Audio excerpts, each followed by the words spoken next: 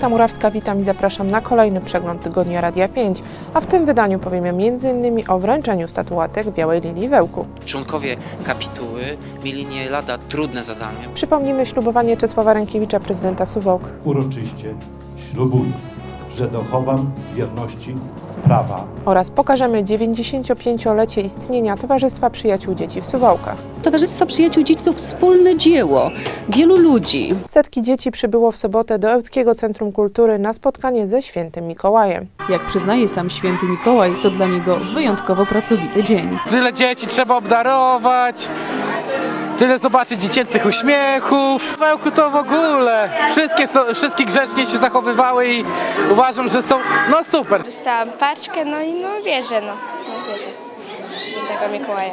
Dostawaliśmy lizaki, no i fajnie było.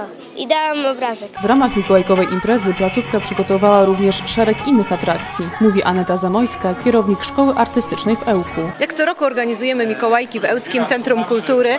Przychodzą dzieci, robią sobie zdjęcia z Mikołajem. Ten Mikołaj jest taką magiczną osobą, która zawsze przyciąga dzieci i jest ku temu świetna okazja jeszcze tak przed okresem Bożego Narodzenia. Oprócz tego można zrobić ozdoby bożonarodzeniowe własnoręcznie, co jest niezwykle ważne. Mnóstwo bramek, emocji i świetnej zabawy towarzyszyło mikołajkowemu turniejowi o Puchar Wojciecha Kowalewskiego. To już czwarta edycja imprezy organizowanej przez Akademię Piłkarską 2012. W hali zespołu szkół nr 3 spotkało się ponad 100 młodych piłkarzy, m.in. z Suwałk, Białego Stoku, Ełku, Sokółki czy Filipowa. Turniejowi towarzyszyły też m.in. występy przedszkolaków, pokazy taneczne oraz gry i zabawy dla najmłodszych. Z roku na rok przybywa też samych uczestników i to cieszy najbardziej, przyznaje Wojciech Kowalewski. Cieszymy się, że po raz czwarty e, mamy możliwość przeprowadzenia tego turnieju. Turniej e, sam sobie jest bardzo ciekawą e, ofertą dla, dla młodych piłkarzy, młodych adeptów, którzy zaczynają e, przygodę z piłką nożną e, i zdobywa ten turniej coraz większą popularność e, w naszym, w naszym regionie. Zawody rozgrywano w systemie Funinio, czyli na cztery bramki. W ten sposób dzieci w większym stopniu mogą pochwalić się swoimi umiejętnościami i czerpać większą frajdę z grania. A to w tym wieku jest najważniejsze, dodaje Kowalewski. 95-lecie istnienia obchodziło Towarzystwo Przyjaciół Dzieci w Suwałkach. W Państwowej Szkole Muzycznej pierwszego i drugiego stopnia w Suwałkach spotkali się przedstawiciele władz samorządowych oraz instytucji i organizacji od lat wspierających towarzystwo. Były podziękowania, gratulacje oraz specjalne wyróżnienia. Nie zabrakło też występów artystycznych, które przygotowali uczestnicy warsztatów terapii zajęciowej w Suwałkach. To właśnie między innymi tą formą wsparcia na co dzień zajmuje się TPD. Prowadzimy też przedszkola, placówki wsparcia dla ubogich oraz organizujemy letnie kolonie, mówi Lilianna Zielińska, prezes Suwalskiego Oddziału Towarzystwa Przyjaciół Dzieci. Towarzystwo Przyjaciół Dzieci to wspólne dzieło wielu ludzi, yy, wolontariuszy, pracowników, byłych pracowników, którzy z różnych przyczyn już odeszli potem, przyjaciół dzieci, sponsorów. Dla uczestników warsztaty są drugim domem, bez którego tak naprawdę nie mogliby już funkcjonować, zapewnia Barbara Łaskowska, mama chorej Kasi, która na zajęcia chodzi już 10 lat. Bardzo dużo nam pomogły.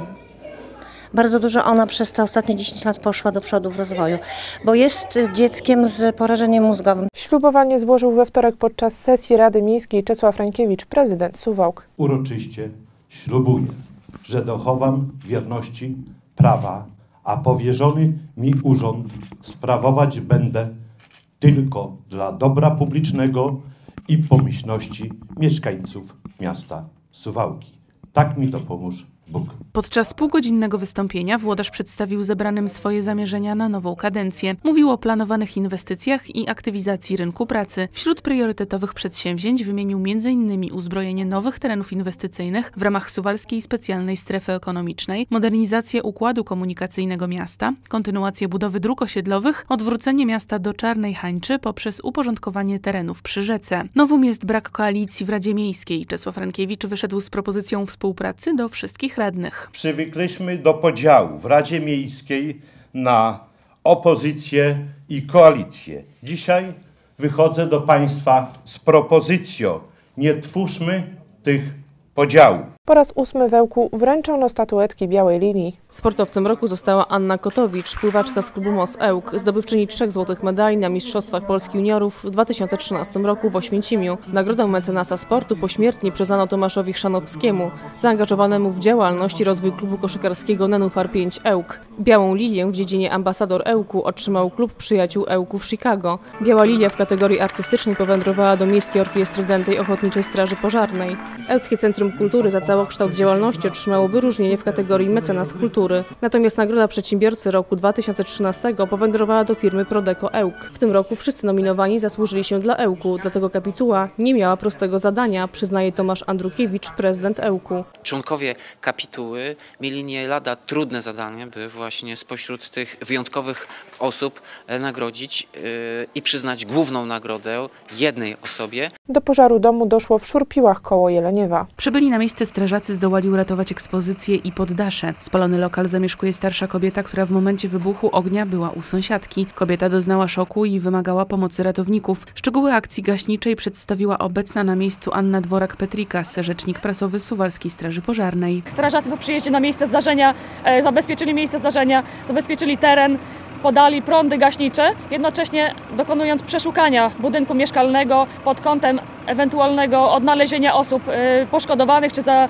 zaginionych. Wspomniana Jaćwieska Izba Pamięci powstała staraniem władz gminy Jeleniewo i Suwalskiego Parku Krajobrazowego. To ekspozycja przedstawiająca dzieje ludu. Oprócz naszyjników, naczyń i części uzbrojenia podziwiać tam można makietę góry zamkowej ze sceną ataku wojów ruskich. Wartość tego przedsięwzięcia to ponad milion dwieście tysięcy złotych. Nowy sztandar ma zespół szkół technicznych w Suwałkach. To wyjątkowy dzień zarówno dla młodzieży, jak i byłych żołnierzy, którzy przez kilkanaście lat opiekowali się sztandarem. Kończy się bowiem pewna symboliczna epoka. Symbol walki i polskiego bohaterstwa przejęła dziś suwalska młodzież. To zarówno radosna, jak i bardzo smutna chwila, bo pokolenie, które przelewało krew za ojczyznę, powoli odchodzi, mówi Czesław Rękiewicz, prezydent Suwałk. Chwila smutna wynika z faktu, że odchodzi pokolenie osób, które walczyło o wolną, niepodległą e, Polskę. Wzruszenia nie krył Antoni Mazalewski, przewodniczący Suwalskiego Obwodu Światowego Związku Żołnierzy Armii Krajowej, który wierzy, że sztandar trafił w dobre ręce. Szkoda nam tego, ale